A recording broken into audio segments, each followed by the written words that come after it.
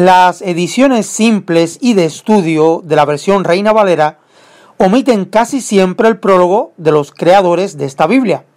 La pregunta es, ¿por qué? ¿Acaso incomoda?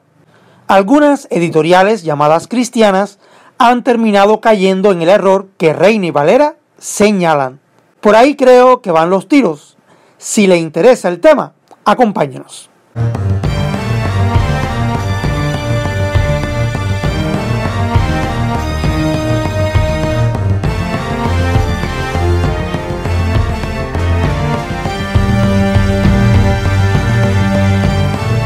Antes de comenzar, quisiera que vean breves comentarios de eruditos que trabajaron o presentan diferentes revisiones de la Reina Valera. Reina Valera, Mundo Hispano. Palabra Jehová se ha cambiado a la palabra Señor. La palabra Señor es más que un nombre. Reina Valera contemporánea. Los judíos dejaron de pronunciar y dejaron de pronunciarlo por una cuestión de respeto. Yo estudié, mis estudios doctorales fue en una universidad hebrea. Y en todas las clases, tanto en la lectura hebrea como hablar en hebreo, jamás se pronunciaba esa palabra.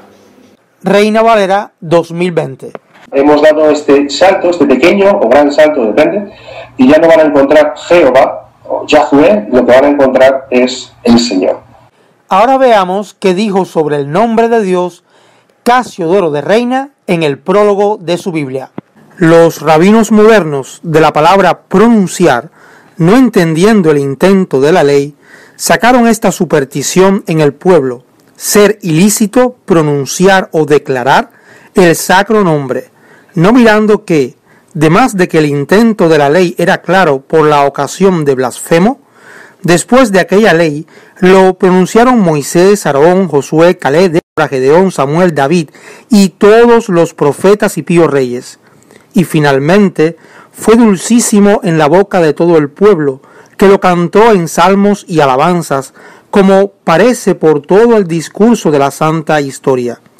Así que de la superstición de los modernos rabinos salió esta ley encaminada del diablo para, con pretexto de reverenciar, sepultar y poner en el olvido en el pueblo de Dios su santo nombre, con el cual sólo Él quiso ser diferenciado de todos los otros falsos dioses. Pasemos ahora al prólogo de la revisión de Valera. El Salmo 69 tiene 13 versos, y en ellos el nombre de Jehová se nombra 11 veces. El Salmo 29 tiene 12 versos, en los cuales David nombra a Jehová 18 veces. De una cosa me maravillo, que los judíos hagan tanto escrúpulo de escribir y pronunciar Jehová, escribiéndolo y pronunciando en su lugar Adonai, y sin ningún escrúpulo escriban y pronuncien Ja que es tan propio nombre de la esencia divina y tan incomunicable a las criaturas como Jehová. Ninguna diferencia hay entre estos dos sacrosantos nombres, sino esta, que Jehová se escribe con cuatro consonantes, Jehová, y Ja, como abreviatura de Jehová, se escribe con dos. Después de tantas revisiones y correcciones en esta traducción, la pregunta es simple. ¿Podrá seguir llamándose Reina y Valera? Esto es Biblia versus religión.